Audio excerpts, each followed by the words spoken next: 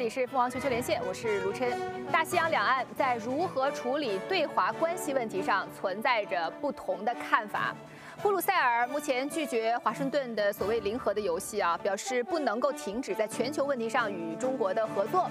那中国国务院兼外交部长王毅呢，这两天也展开了很密集的电话外交，分别与法国、英国和意大利的外长通了话。在同英国外交大臣拉布通话时，王毅指出，中英双方应该尊重彼此的核心利益和重大关切，中方坚决反对英方近期就香港国安法的一系列言行。那拉布表示，当前中英关系遇到一些挑战。但英方不赞同全面重置中英关系，也不赞成重蹈过时的冷战思维。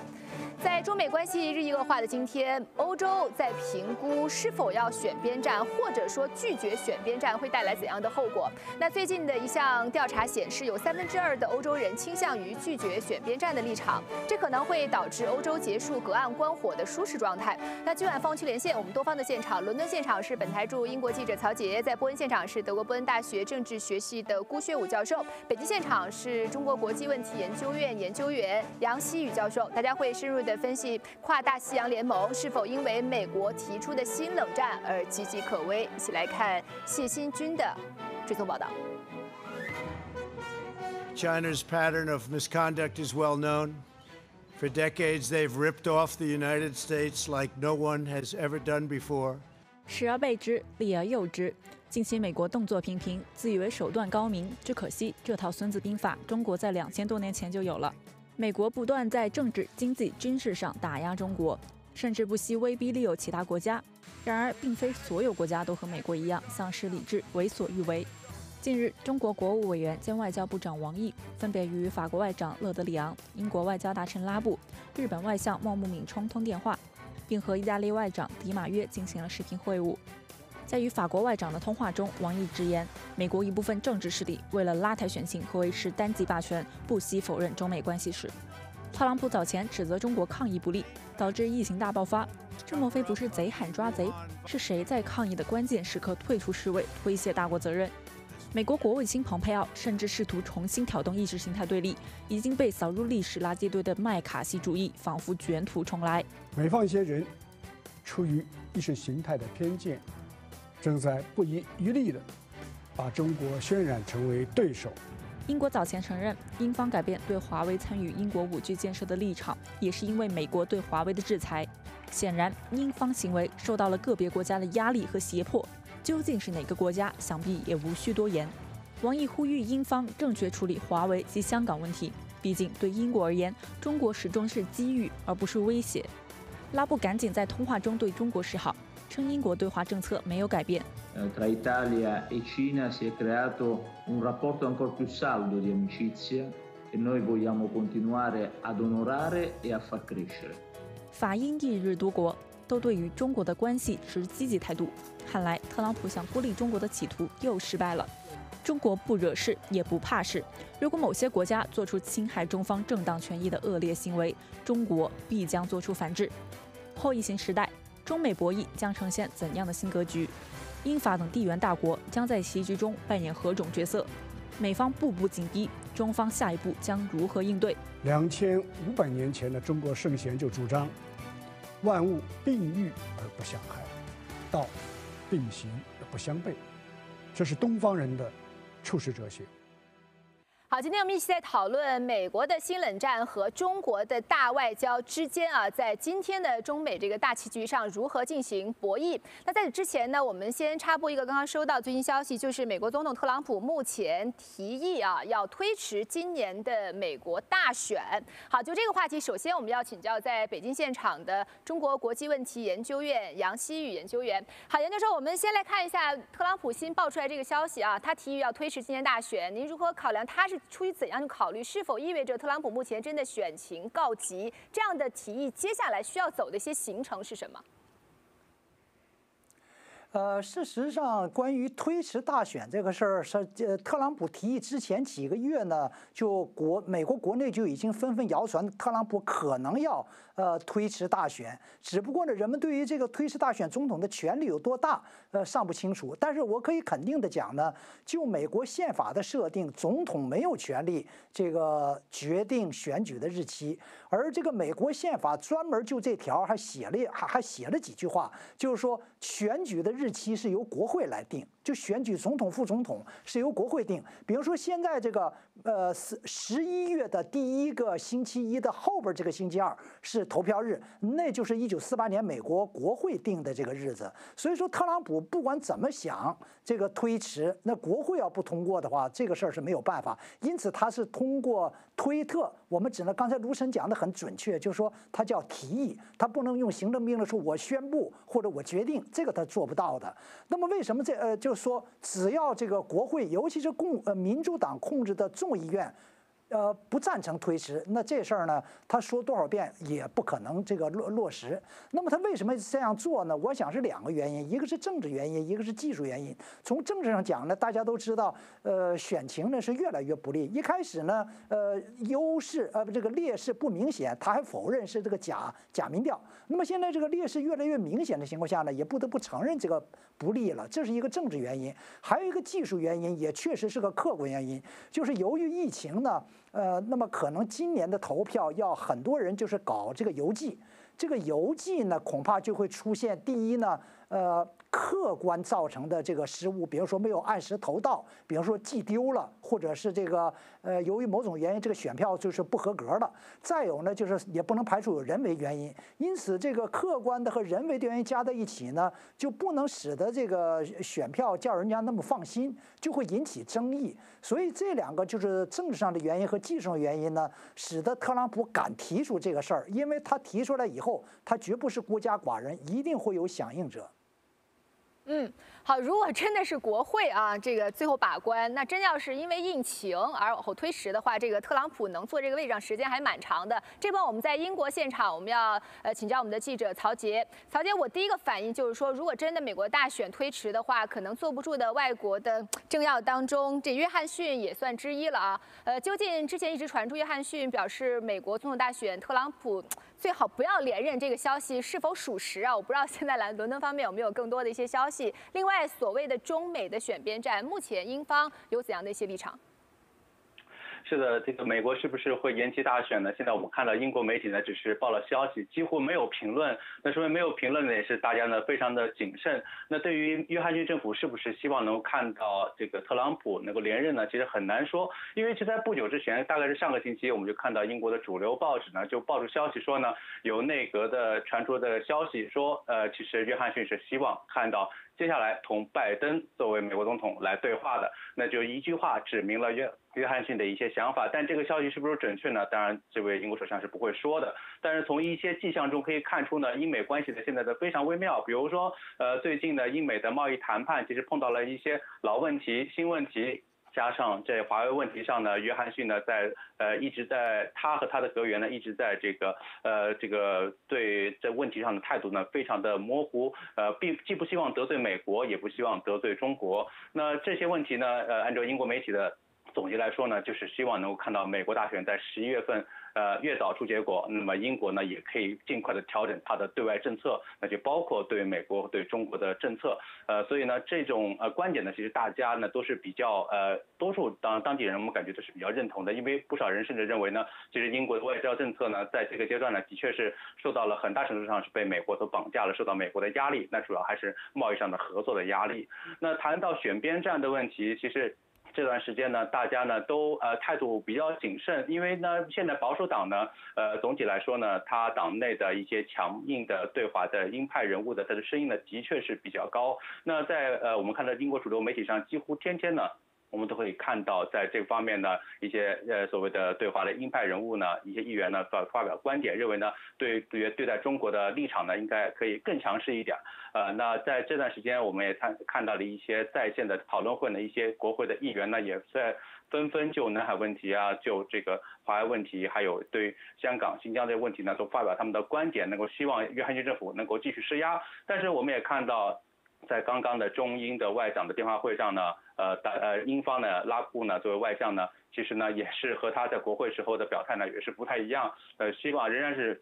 表示希望能够加强同中国呃同中国的这个合作，尤其是经贸领域的合作。那这个问题上，其实英国还有一部分的技术主义呃呃呃派别，那就是大家希望呢能够通过一些更加呃缓呃更加和缓的方式来化解目前的这个纷争。但是这个问题想要做到呢，其实并不容易。那今天呢，我们看到这个呃中国驻英国大使刘晓明呢，他召开记者会时候就强调提出这个问题。那中国和英国之间能不能够在未来？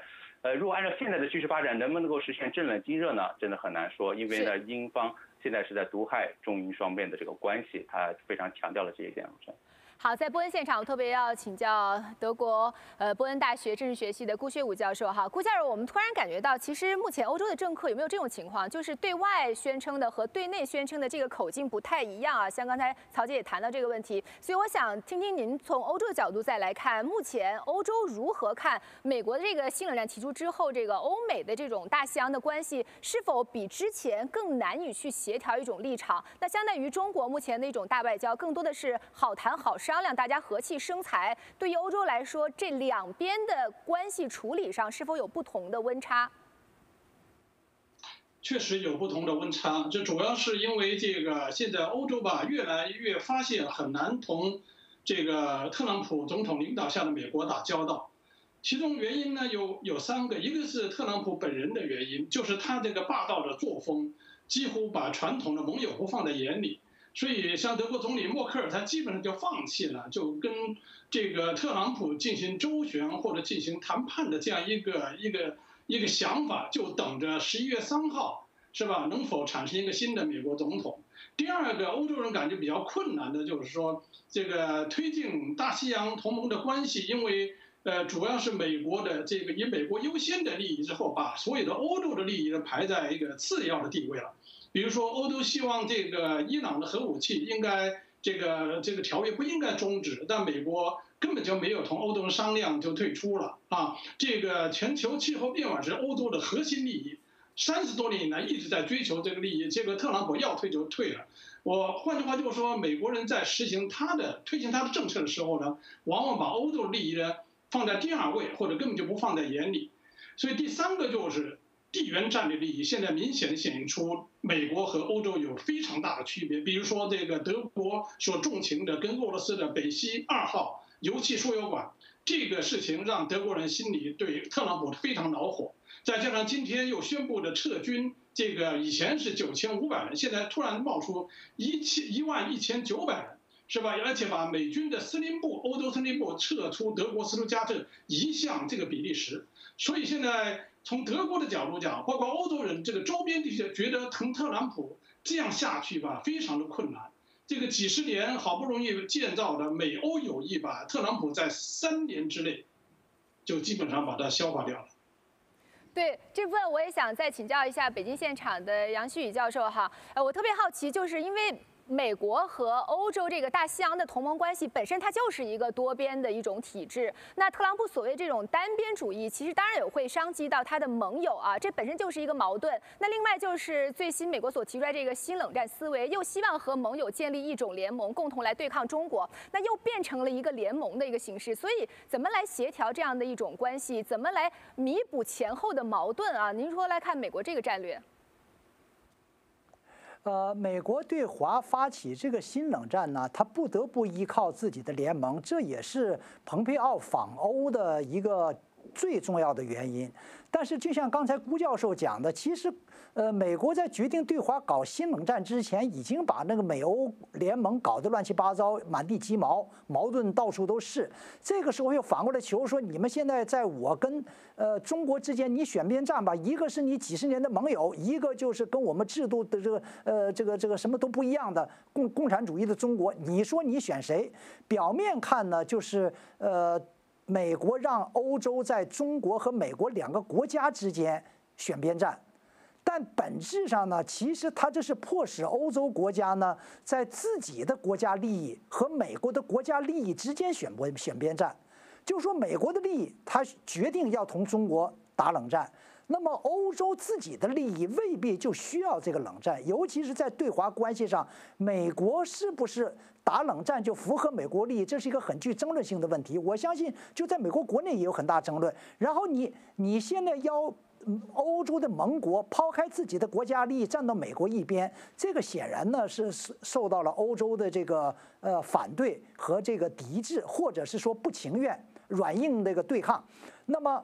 这个节骨眼儿呢，实际上王毅国务委员兼外长这一系列的电话外交呢，呃，也是针对指向性非常强，就是针对蓬佩奥访欧，其实也在逐个做呢欧洲国家的工作。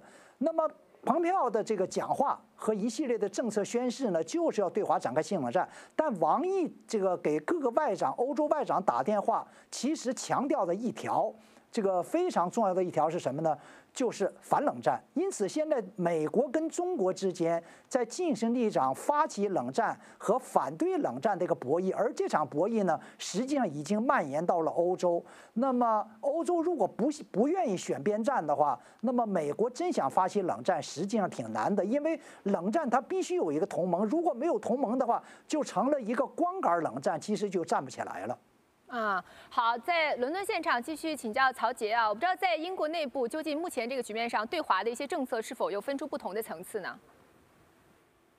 简单的说呢，左中右都有。那我们刚才说了，就是说对华鹰派的这个势力呢，主要是来自约翰逊的盟友，那就是他领导的保守党内部的一些后座议员。那这个人数呢，现在应该说呢不在少数。那有两个组织呢是非常有名，那一个是中呃中国研究小组，还有一个是华为利益小组。那这两个。组织的成员呢，都代表了英国保守党的一些所谓的精英人物。那他们很大程度上，呃，积极的游说约翰逊来改变对华的政策。应该说，很多观点呢，已经让这个约翰逊还有他的内阁成员呢，已经动摇了。那另外一方面呢，就是我们看到的，在无论是在执政党。还是呃在野党呢，其实还是有不少议员呢，还是强调那英国尤其是脱欧之后，那是不是还能够成功的保住它的这个全球化的地位呢？那这是非常关键的。那在这个过程当中呢，呃，拥有中呃这个获得最大规模的一个市场，呃，能够扩大贸易是最重要的一个环节。所以很多的政界人士呢。还有他们呃和他们关系密切的一些商业人士呢，都希望在这个问题上能看到中英关系呢得到舒缓。所以呢，我们这两天看到英国的舆论呢，也在有一些呃的利益集团，还有一些。呃，机构人士呢就呼吁呢，英中关系呢应该得到好转，呃，得到舒缓，不要在这个问题上呢过分的强，过分的精美。那还有一些这个英国的一些呃呃智库的机构呢，就在这个问题上呢，应该持一个中间的立场，他们能够希望能够看到双方能够有机会增进的交流。那大家和大家关注的一个最重要的一个问题呢？其实呢，也是呃，中方呢也一再呼要求英方重视的，那就是中英现在仍然是处在一个黄金时代。那黄金时代是不是应该让它进呃能够继续的推行下去呢？怎么来解决呢？就希望双方的对话。那一些智库的一些研究人员呢，就认为呢，其实尤其是英国方面呢，对于中国社会的理解和了解的这个程度呢，其实还是很缺乏。所以对于中国的了解缺乏呢，也就导致了双方的双方的这个误解有太多了。好，下节我们就关注啊，中国如何让自己战略更为主动一些。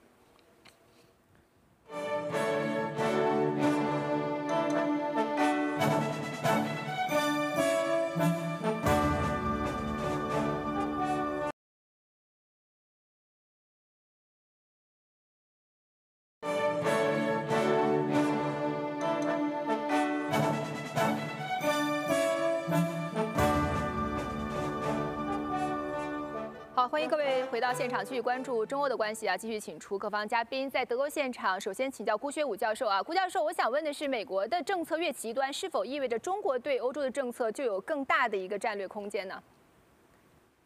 理论上应该是这样哈，就是我们很多评论家，包括我们这个行当里面的很多学者都认为哈，这个特朗普当美国总统实际上是对中国一个巨大的蛋糕，一个巨大的礼物。但是非常奇怪的现象就是说，这个。现在欧洲人民啊，包括全世界人民，可以这样说：从媒体的角度看，至少对特朗普是越来越不信任，就对美国这个领袖领导作用越来越不太买账。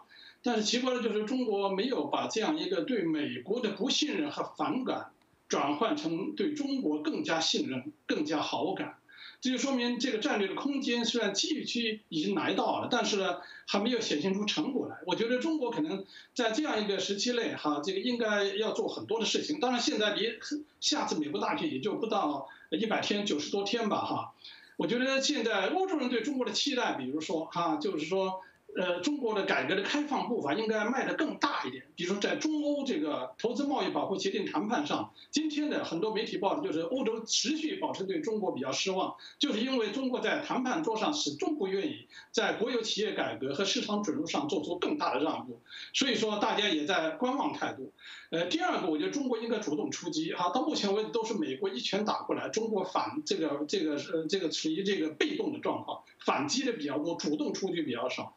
比如说这个军备控制谈判，哈，两个大国谈判，但是在核武器的第二俱乐部里面，就小核国家里面，像英国、法国、中国也可以进行这样一些谈判的倡议。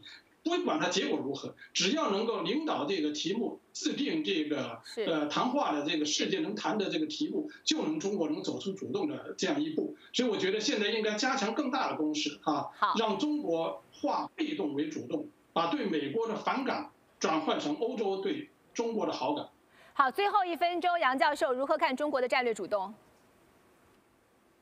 呃，战略主动不是人家送到手，我非常赞成辜教授的意见，就是这个战略空间或者我们中国话语体系叫战略机遇放在那儿的时候，特朗普提供的机遇你拿不拿、用不用，那是完全两回事。